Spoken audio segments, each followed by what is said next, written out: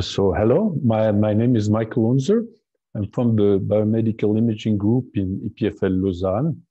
I'm very happy to be here to give you this uh, presentation. So first of all, I'd like to, to thank uh, Geert Leus and also uh, Mario Figueiredo for, for the kind invitation. I should also mention that this is a joint work by uh, some PhD students of mine, so uh, Pakshal, Joaquim, Harshit, and Shayan. and so the title of the presentation is Deep Splines. Okay. Uh, so maybe let me first give you uh, the sort of context and also maybe the inspiration for, for, for this work, which goes back to the variation formulation of inverse problems in imaging, which has been a very hot topic, uh, namely in compressed sensing during the, the past decade. And, and so here you have a, so, so, so, the problem here is to reconstruct an image. Uh, for example, here a, a micrograph that where, where you have like uh, obtained uh, images that are blurred that were obtained with a microscope. And what you'd like to recover here is the unblurred uh, concentration here of a fluorophore.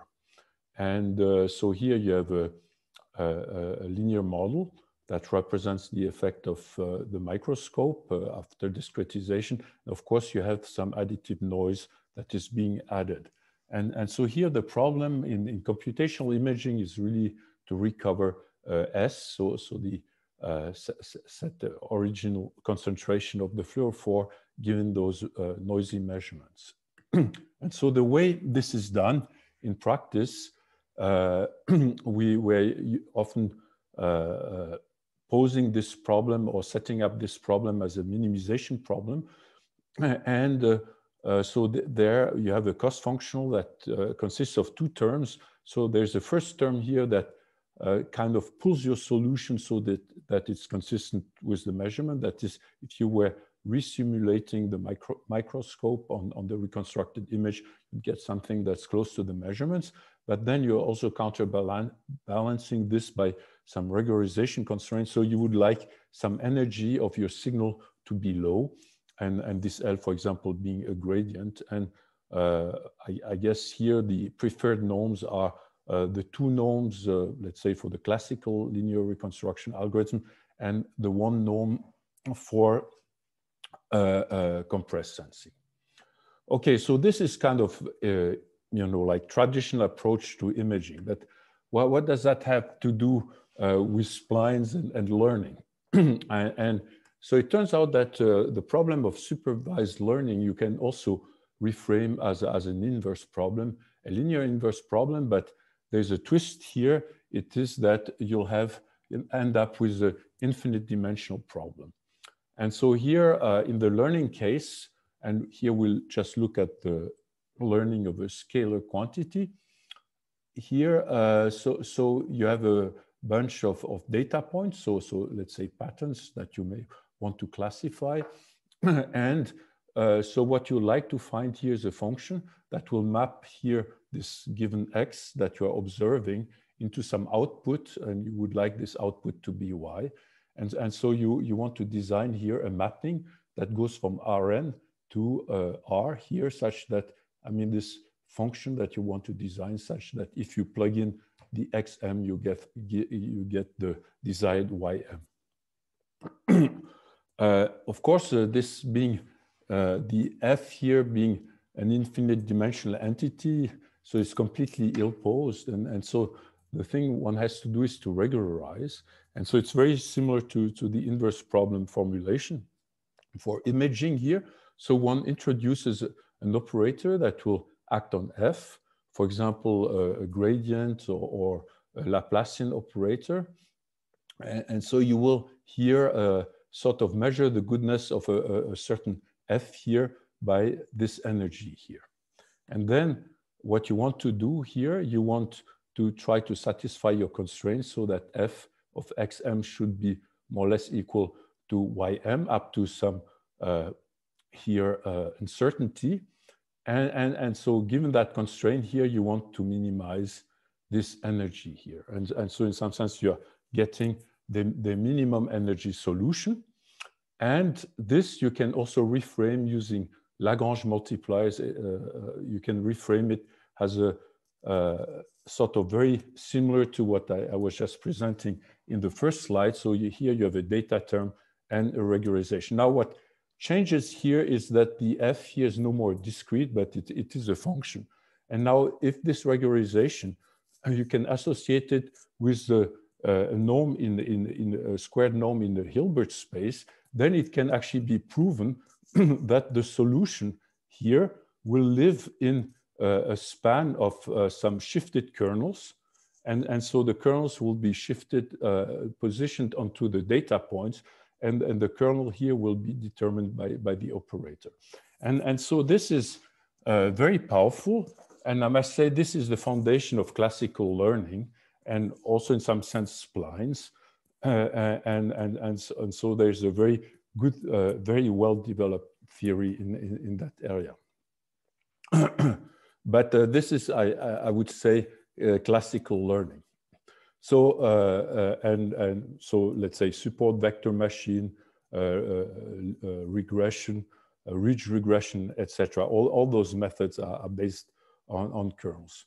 Okay, so that's the classical view, but what has happened, as you all know, in, in machine learning, there's been uh, the uh, deep learning revolution, and, and so the emergence of these deep neural networks. And, and so this came about uh, some years ago, let's say 2012. so there was this ImageNet competition where classical machine learning methods were competing for for, for trying to classify a very, very large set of images. And then suddenly came some deep neural networks and they started uh, overperforming all the classical approach, uh, reaching almost uh, uh human performance in, in, in uh, uh, 2015.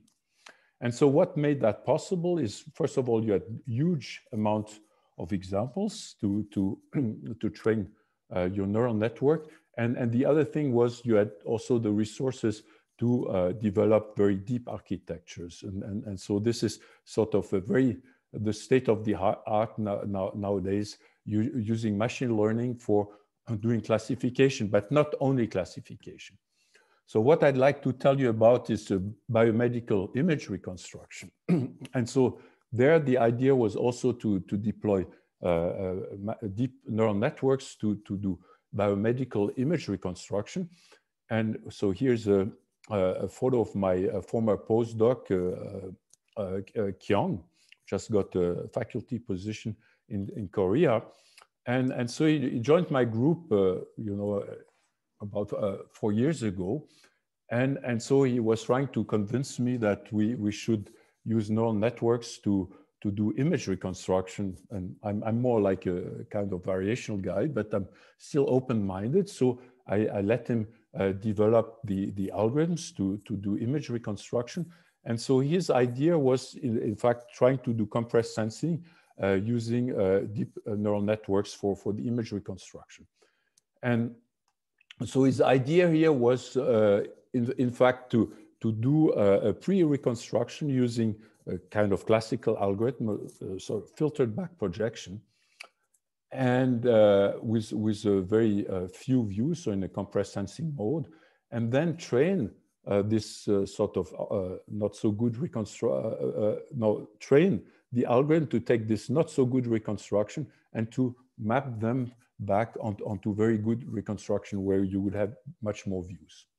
And, and so he was proposed to use a, a U-Net architecture like that uh, that had very good performance for classification uh, and, and, and, and so uh, and also for some denoising problems in imaging. And, and so he did that and obtained some really astonishing results. Marseille was not the only one. There were other groups doing that uh, simultaneously, but this was among the first work of using deep neural network for image reconstruction. And let me now show you some examples. So here is like uh, the, the, what we consider the ground truth. Uh, so that is a CT a 3D reconstruction using uh, uh, many views. So it's uh, data provided by, by the Mayo Clinic. And, and, and so uh, here we, we do a, a, a, dose reduction by, by seven. So, so we, we're just uh, throwing away uh, quite a, large part of, of, of, the acquired data and, and, and then reconstructing using classical uh, filtered back projection uh, linear reconstruction. And that's what you get, a sort of signal to noise ratio of uh, 24 dBs. And then if you, with the same uh, data now, you use all this uh, compressed sensing uh, methods, uh, total variation, regularization, you are able now to get this kind of reconstruction. I must say here, so you, you have like an improvement in that case of, of about five dBs. And, and so this is also the kind of uh, research that, uh, for example, Ma Mario Figueiredo, so one of our chairs here, has been very much involved. And, and so there have been about 10 years of compressed sensing, essentially gaining us of the order of 5 dBs.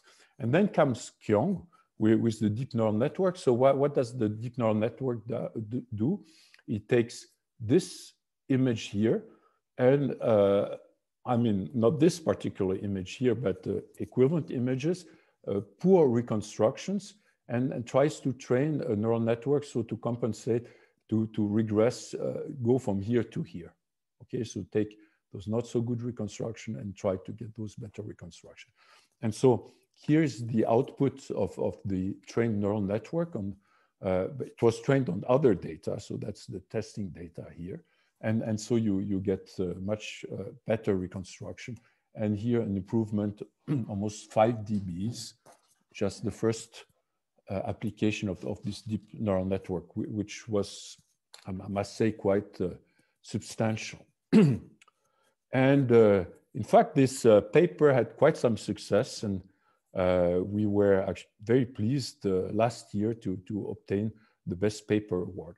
In fact, it's not only the paper, it's not only the idea of using neural network uh, for reconstruction is also, there's a theorem that uh, sort of gives an argumentation why we should use convolution neural network and uh, that goes kind of with the physics of, of uh, computer tomography.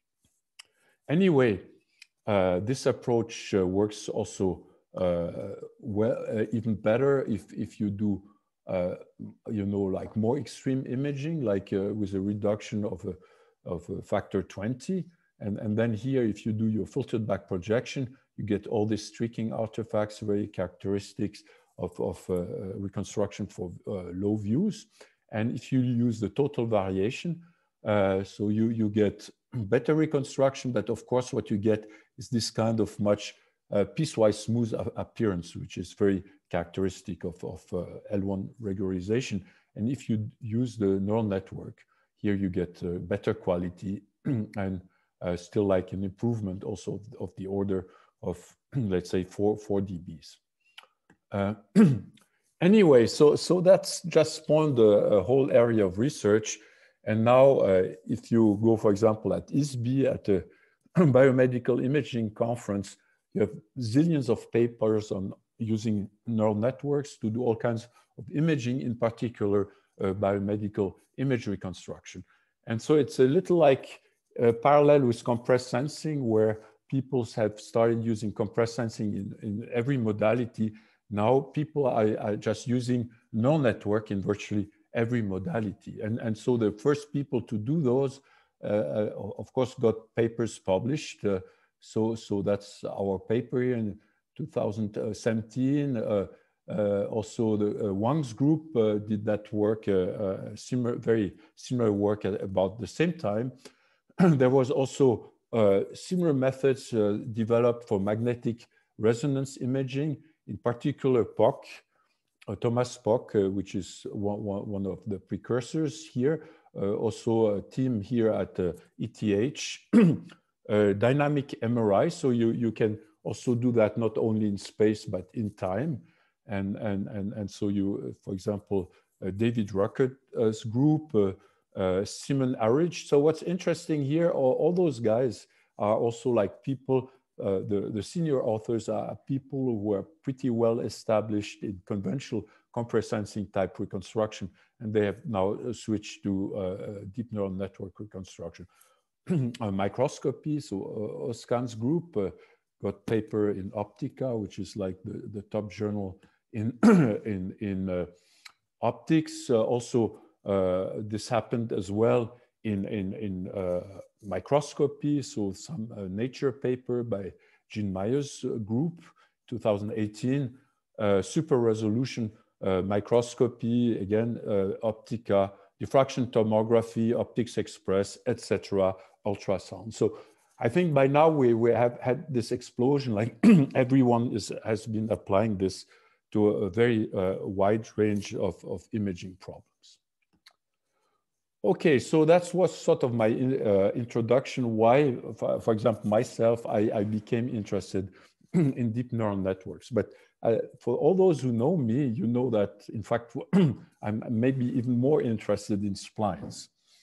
And, and, and, and, and so here, what I'm trying to do here uh, has been to link uh, deep neural networks to splines in order to get a, a better understanding at, at, at, what's going on. And so that's what I'm going to discuss for, for the rest of the talk. so now maybe just to set the notation, uh, here we have a feed-forward deep neural network. And, and so what, what, what is a neural network? You all know that it's a bunch uh, of, of neurons, like or organized in layers.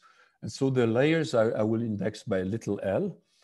And uh, so, so for every layer, we'll have a certain number of neurons. And so the neuron I, I will uh, index by n. And so here we have uh, the nth neurons at, at the else layer. and, and, and so then what we're doing, we're like connecting those neurons and, and so connecting them uh, by applying uh, linear weights. But we also have a nonlinearity at, at the level of the neuron that we call activation function. and then what does the deep neural network do? It does first, uh, here applies linear weights and, and, and, and, and also put, puts a bias here. So, so that's an affine transformation to go from one layer to the next. And after that, at the level of the neuron, it will just apply uh, a nonlinearity, pointwise nonlinearity. So that's as described here. and now if you uh, look at the structure here of a deep neural network, so what you have then is just the uh, combination uh, of, uh, let's say, linear, pointwise nonlinear, linear, pointwise nonlinear, etc. Uh, uh, and so it's deep when you have many, many layers like that. And, and what is learned here in principle is just learning here the linear weights. Uh, so, so it's the weights to put that are symbolized by, by, by those arrows here. okay, so now it turns out that there's a very interesting, I would say, a deep relation between neural networks and splines, especially if you consider this particular nonlinearity. So that's called the ReLU nonlinearity. So it, it is like that. I should say this is a, a simplest example of a linear spline. You see it's piecewise linear with a single knot. And now, uh, you know, during the years, so uh, ReLU has really appeared as a preferred choice of uh, activation functions. So that was uh, first proposed in uh, 2011, but now uh, here, uh, the, the very famous people, LeCun, Bengio, Hinton, in their sort of foundational Nature paper 2015, where they really like describe this whole deep neural network Uh, story, they really also emphasize that uh, use of ReLU makes uh, training uh, of neurons, uh, deep neural network much more efficient and gives us state-of-the-art performance.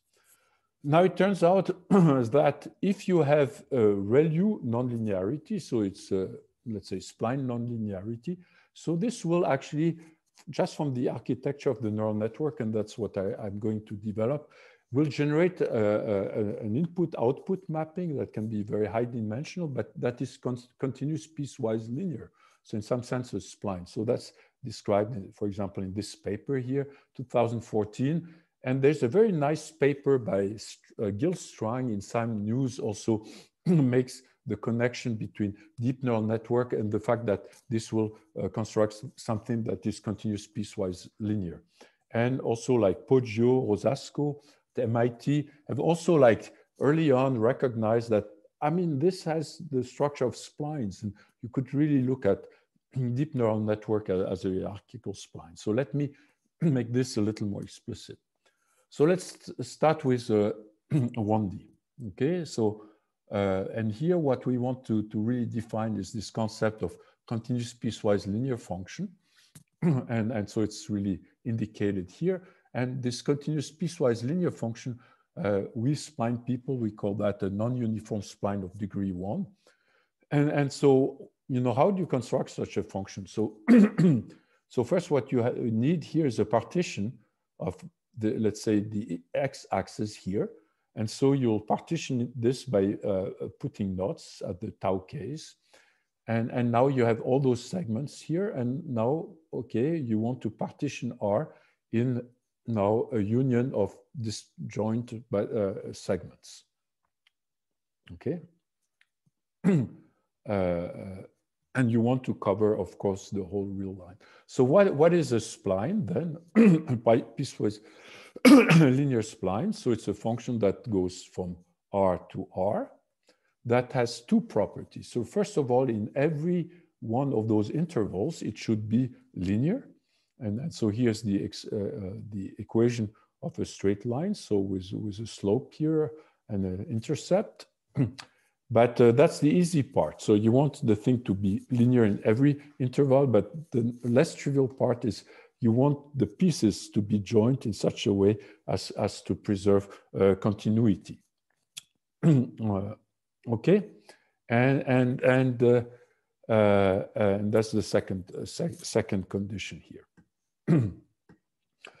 and uh, okay, so that I would be that that would be let's say the, this description of a spline, but spline people actually don't represent uh, uh, uh, those splines in, in, this way. They prefer to represent it in this way using some other coefficients. So there's a, a linear term here, which is a, is a global straight line. And, and then here is a sum here of uh, what's called uh, one-sided power functions. But uh, for, for those who know ReLU, this is just a, a, linear combination of ReLUs. Okay, so by, by just making here a, a linear combination of ReLUs, because the ReLUs themselves are uh, continuous piecewise linear, so you will automatically uh, generate a linear spline. okay, so that's the story uh, in, in, in 1D. Uh, let's go to multiple dimensions and you can do uh, exactly the same, but now uh, you, instead of partitioning the domain in segments, now you have to uh, partition the domain in, in uh, con convex polytopes. So for, for example, here in 2D, there are triangles. and, and so you get a partition as before. Now it's Rn in higher dimension, such that, I, I, I mean, the, the, the, union is the whole domain, and, and actually that the, the, the, the, the, the, those guys are, are non-overlapping. okay, so then it's essentially the, the same story as before. So your, your function, now it's a function that goes from Rn to R. It's a continuous piecewise linear with this partition. So what does it mean? So within every pk, so it's every sort of polytope domain here, you want the function to be linear. So that's now uh, equation of a plane here. And, and again, that's the easy part. and the harder part is now to enforce that the, the function is globally continuous. So the pieces then are just stuck together. It's like uh, facets, but that are put together in a way that maintains continuity. Okay, so that's continuous piecewise linear in, in higher dimension. and uh, now what, what happens if you're not going from Rn to R, but to Rm? And, and so here you just have a bunch of component function and every one of the component functions is of that type is continuous piecewise linear. That will give you also something that is globally continuous piecewise linear. okay, so why, why what is really beautiful with this continuous piecewise linear function is uh, the first property uh, is, is kind of straightforward. So if you do a linear combination of those, uh, you maintain the property. But what, what is I mean, really amazing is that now if you do the composition, the composition is like in the neural network, is like chaining the layers. Now, if you compose any two uh, continuous piecewise linear functions, but with compatible domain, so that you have the right dimensions, actually what you generate automatically is also something that's continuous piecewise linear. So that means this continuous piecewise linear is really uh, maintained by, by chaining. the proof is actually relatively elegant in, in, the sense that uh, the, the property uh, continuity, this is known by everyone that if you compose uh, two continuous functions, you maintain continuity, is also if you are if you are affine and you compose uh, two affine functions, you, you maintain affine, but now if you combine the two properties, this is also maintained through composition. Now, the, the other nice thing is, is that if you take, for example, the maximum, and so the maximum is often used for pooling in neural networks. So if you have the max of two continuous piecewise linear, it's still continuous piecewise linear, same as with the min. And so what, what's the implication? Actually, the implication is that uh, deep neural networks, now which result here from the composition of linear, pointwise, but now, I think you all will agree, I already said it, that the ReLU is continuous piecewise linear. So this pointwise uh, function here is continuous piecewise linear. Affine is trivially continuous piecewise linear. So if you compose, uh, for, for example, like one layer will be continuous piecewise linear. And then if you compose more layers, uh, you will be continuous piecewise linear simply because of this algebra property. And uh, this holds true uh, as well if you have max pooling uh, for dimensional reduction, or if now your nonlinearities would be more complicated than ReLU, but still like continuous piecewise linear function. So I, I guess at this end, uh, at this point, I'm, I'm very happy because now I, I, I really like hit splines uh, because this just tells me that any uh, ReLU neural network is actually a spline. Okay, so it's uh, maybe just another interpretation. but now let's look at something else. Okay, now what we want to do is maybe refine neural networks. And so uh, uh use uh, free-form activation functions. And, and so it's more or less the same structure as before, but now we're, we're what we want to do, why, why use ReLUs? So why not be a little more daring and allow every neuron to learn itself the, the activation function. And so that's those guys here that are represented in red, sigma and L. So every neuron is allowed to learn himself. And then we still have the same structure, okay? And, and now the new thing is, okay, we know how to train the linear weights, but now we want to do joint training to also uh, uh, train the activation. And, and of course, this is much more challenging because it's completely ill-posed. So therefore, we need to constrain activation function. So we need to use a regularization function, uh, you know, like uh, in classical learning or inverse problems. So we should not penalize simple solution like identity, linear scaling. We should be differentiable so that we can uh, do uh, backpropagation. And we like those continuous piecewise linear. So somehow we want to favor uh, functions with sparse second derivatives. And I mean, this suggests using a, a special regularization that I call total variation 2. In some sense, this is a little like the dual of the infinite norm, but it's a little more sophisticated because uh, uh, uh, here it's, it's de defined like a, like, like a supremum uh, over the, you know, with inner products with test function in Schwartz class, and those functions are infinitely differentiable. Okay, and, and, and this gives us now a, a space I call native space over which we are going to optimize. So it's all the functions that have uh, here a finite total, a second total variation. So, so why is this nice? Because for example, if you just have the ReLU, you can compute this quantity and you get exactly one. Okay, and, and so here's the representer theorem for deep neural network. And so what, what does it say? Okay, so we are trying uh, now to optimize this structure. So it's more or less the same as before. We have linear layers. We have now the red ones, which are uh, uh, now uh, those free-form activations. And, and so we use the usual cost function. So it's a data term, maybe something uh, on the linear weights like a weight decay. But now we are adding something for every neuron that we're going to learn, where we want to penalize the second total variation. okay, and, and so we want this way to, to uh, solve that problem. And, and so now here's the theorem, what it says. It says that if this problem has a solution, so if this can be minimized, tells that, that oh, now the solution, so every neural activation should be a non-uniform spline, which in some sense is fantastic. Okay, so you, you put like this variation constraint and, and the math tell you that the outcome here will, will be a, a linear spline. Uh, okay, let me be uh, a little more specific. So the outcome says that every neuron should have this form here. And if you remember from my spline slide, this is the generic equation of a linear spline with some adaptive knots at the taus. Here some weights and the linear part here. But now each neuron has a number of knots uh, that is not known a priori, but has a certain number of knots uh, with some locations and some expansion coefficients to put in front.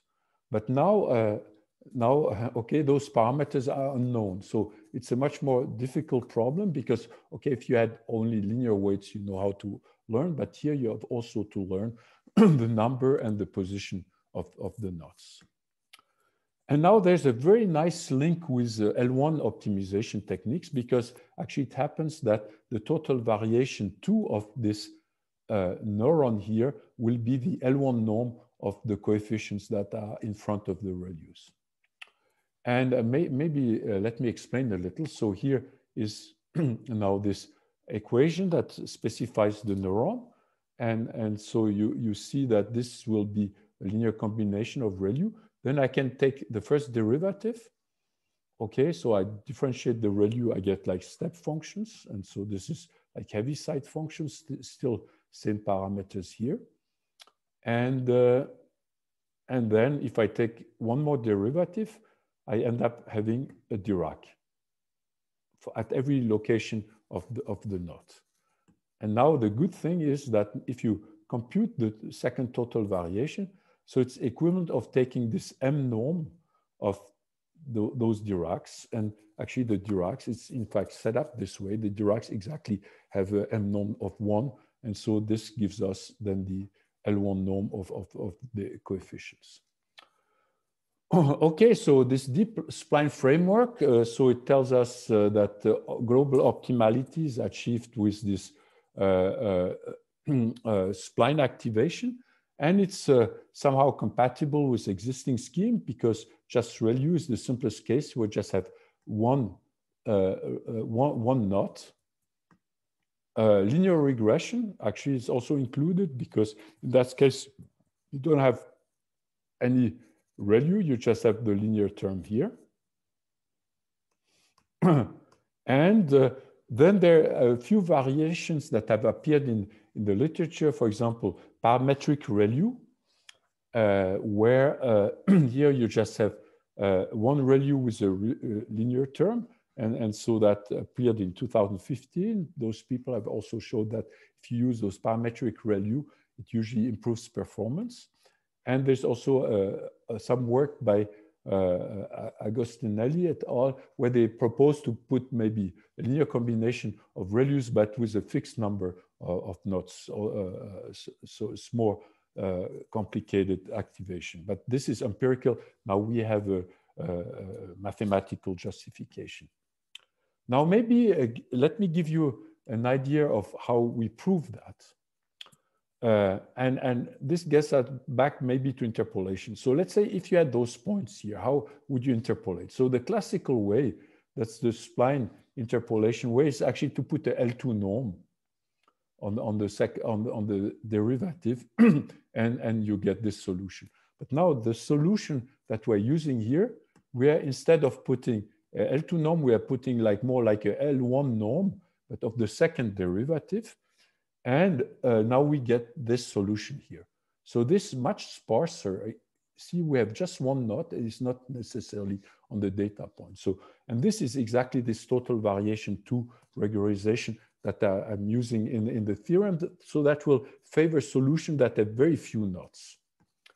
And, and somehow then you can kind of put this result, put it inside of the neural network and crank out the result. So, so I'm just not going really through the proof, but you, you, you, you, can, you can just like, let's say by, uh, you can just reframe that as a, as a, as an interpolation problem and, and, and, and therefore uh, use this, this result that I just presented. now, what are, are, are, the opportunities and the challenges? I guess the opportunities that we can have much more, more sophisticated neurons, we can be adaptive, we can control the complexity with lambda, and we also have the ability to suppress layers. But the problem now, it's, it's you know, how do you determine the number of knots? It's a more difficult optimization problem, and uh, it's it's difficult actually to find uh, the best trade-off. Uh, uh now, how how can we find the best trade-off? Maybe having a, shallow network with, with more sophisticated activation versus having very deep architectures with very uh, simple ReLU activations. And so now, uh, I, I, would like to, to end the presentation here uh, by uh, uh actually describing uh, our implementation. And that's uh, really where my PhD soon have helped because first we had a nice theorem, but we really didn't know how, how to implement. So how to effectively train deep spline activations. so in principle, you, you can say, oh yeah, I, I, I, can use stochastic gradient descent like in, in conventional neural networks, but there's really uh, one difficulty here is that we have actually to optimize uh, the knot location, which is something new here. It's actually quite difficult. And so there's a workaround. In fact, our workaround is a little inspired also from the work on compressed sensing. We just like put many knots. And remember, we have a L1 penalty. And now we will just uh, uh, use this L1 sparsifying property to, we put too many knots and by doing the L1 optimization, it will uh, uh, sup suppress the non-necessary ones. And, and so here we can do a gridded ReLU representation, so many knots on the grid, and, and try to solve it like that. But it turns out that this is not very efficient computationally. And so there we resort now to uh, spline tricks using a B-spline representation. So instead of uh, representing this as a sum of ReLUs, we prefer to represent it as a sum of triangles, which are B-spline functions plus some boundary functions here. and, and, and, and so here, the basis function are essentially triangles. And, and why does this work? uh, actually, it's completely equivalent. And let me show you. Uh,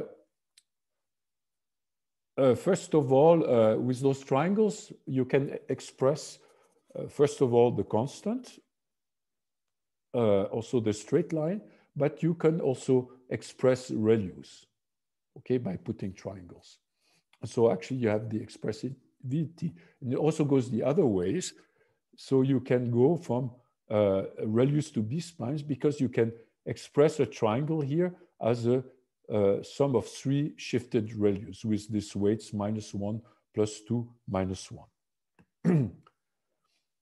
and actually this gives you then also a very simple way of computing the second total variation. It's just the uh, now uh, the L1 norm of, let's say, the differentiation of that, but it will be then those B-spline coefficient convolved by those minus one plus two minus one here, which is a second finite difference filter. So you get a very efficient way of implementing this. And, and why, why, it, why is it so good? Is because, in fact, we have a complexity that's completely independent of the grid size. And, and, and why that? So you can put as many guys on the grid. And now uh, the miracle here is that if you put yourself at a given location, so it's, if you have one data point, okay, it will just take some value. And actually, for let's say if we're here, we will only have two active basis functions. So every data point will just hit two basis function. And so that means actually the complexity of computing those B-splines is independent of your number of nodes. It, it will always essentially cost two operations. But this also means the other way when you are doing the upgrade of the uh, backpropagation, uh, every point will only affect two uh, basis function. And, and so we, uh, we verified that, that, that, that uh, uh, if we were using B-splines and putting more or less for, you know, in the deep neural network configuration, putting more or less nodes per activation, nine or, or let's say 500, actually takes the same memory and it costs exactly the same time to train. Now, if instead we just had put ReLUs, so we put nine ReLUs, so it, it starts co costing much more, you know, than the B-splines. If we put 29, it starts co costing more and more. And if we put, and we couldn't put more than uh, 30 because we exploded the memory, okay? Because you always have to, you know, update everyone, keep everyone in, in memory. So, so it means actually this thing didn't implement. We're not able to implement the thing with ReLUs. And with B-splines, actually, it has a complexity that doesn't depend on the finesse of, of your model, which is very nice. okay, so now let's go to the experiment. And so here we did like, uh, just to try to figure out what's going on, a relatively simple experiment here. So we have like two shapes here. And, and uh, if we are inside one region here, you, you are in uh, one class and otherwise the another class.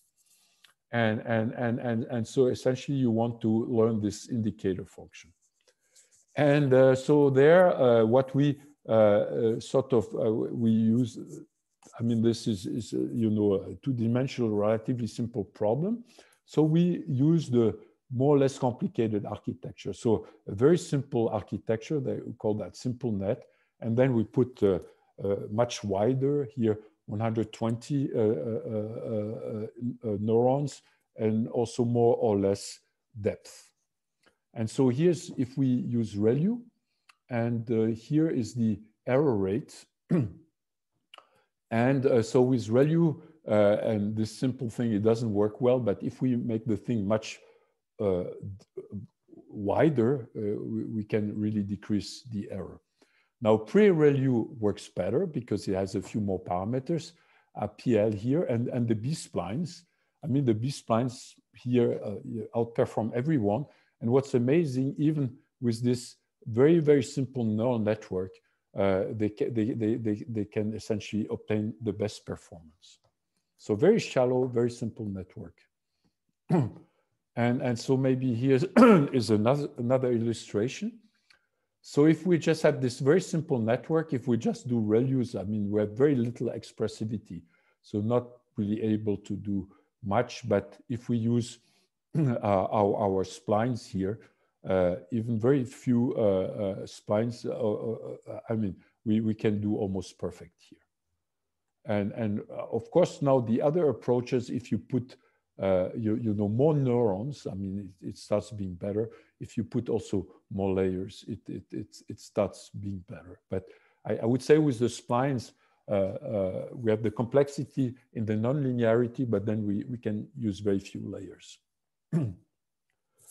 now we, uh, with the same experiment, we can also uh, uh, uh, look a little at the effect of the regularization. And remember there was the lambda that was acting on, on the total variation. So if we impose more or less total variation, and, and then here we, we're just counting the number of surviving uh, uh, knots, uh, uh, you, you, know, in, in our final architecture. And as you blew up uh, lambda, you have, you know, uh, less knots that, that survive. and, and at the end, actually, you just have a linear classifier. But uh, what, what you can see here, you have a kind of plateau. And, and, uh, and, and, and so it, it, here it is, it, is, it is good, for example, to have this operating point here where we have a very uh, low error here with, with a relatively uh, small number of, of, of, spline coefficients because we, we want also to have a, a simple model. Now we also do the, uh, you, you, know, more conventional uh, classification experiments. So that's the famous uh, CIFAR data set. And, and so that's really like classifying images. So you have a, a, a small version, a larger version. so using a kind of standard network in network architecture. So uh, here we're able to improve somewhat uh, uh, on the on the ReLU architecture and certainly on the uh, APLU. So that was like fixed number of of of of of, uh, uh, of nodes per per per per uh, activation. And, and so that's using a relatively old architecture. If we use ResNet, I mean, with ResNet, everyone improves. Uh, and, uh, but we're still like ahead of, of the others by, by some margin. And, you know, this kind of improvement for neural network is, is, is significant. And, and if we do uh, CIFAR uh, 100, it, it's more or less also consistent results. then what we looked at is uh, at an inverse problem, okay? Because at the end, uh, we want to apply that to, to do image reconstruction.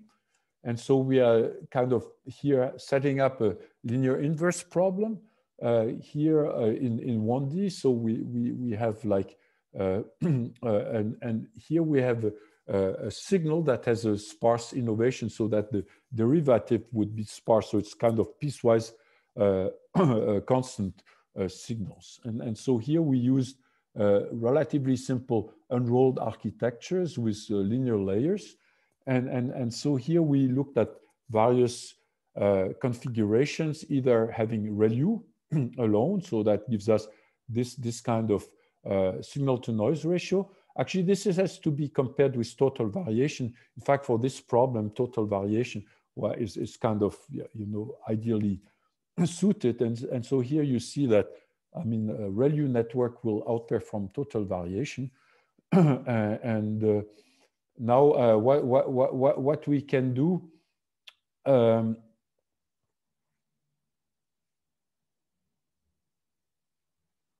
we, we, we can now learn uh, uh, uh, those activation.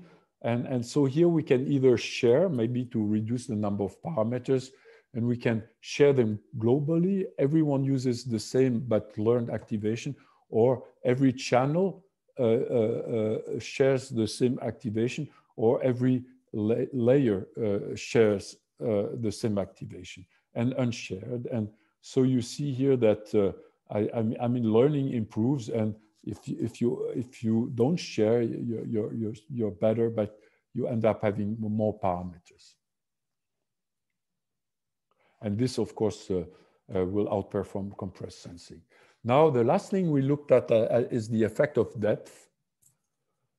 And, and, and, so we can put more or less layers. And, and now what, what we found is, uh, for example, just with ReLU, if we put more and more layers, in fact, we kind of reach an optimum and, and then no, nothing happens anymore. and uh, now the thing is when we look, uh, use also more layers, we, with uh, our deep splines, we, we kind of get also to the same optimum. But I think what, what is important here is that we, we, we can do better than ReLU if we have less layers, and, and that's significant. Okay, so that gets me to the conclusion that I like to call the return of the spline. Uh, so splines and machine learning, so that deep neural networks are in fact high dimensional piecewise linear splines. And so that's also like uh, some artistic illustration so that actually uh, continuous piecewise linear function have, can express anything. So for example, those statues here that are piecewise, continuous piecewise linear. And now you can have freeform activation, which gives you uh, deep splines. And uh, now we presented a practical implementation method using uh, B-spline activation modules. And, and so we, I, the main message now we have an algorithm that is fast and easy to train and that's scalable in time and memory thanks to the B-spline. It's competitive with uh, other trainable architectures. And uh, I think the, the, the, interesting part here is that it will allow for shallower and more robust uh, networks because it is also known that I mean, those deep neural networks have a, have a problem. They're not very stable. That comes from uh, the fact that you are having lots of layers. And so I'd like to, to thank everyone, uh, now the, the co-authors here and the uh, other people in my team were uh, saying hello to you. And, and uh, uh, last, oops, okay, last here, the, some references. I think here the math paper here on, on, on, on the foundation, the, the, the, the uh, representer theorem, and here uh, a paper that just ap uh, appeared here on, on this practical algorithm that I just described. And for those who are interested in application of deep neural networks in imaging that I discussed at the beginning, there are also those uh, papers here. And I'd like to thank you all. And uh, I'm open to questions.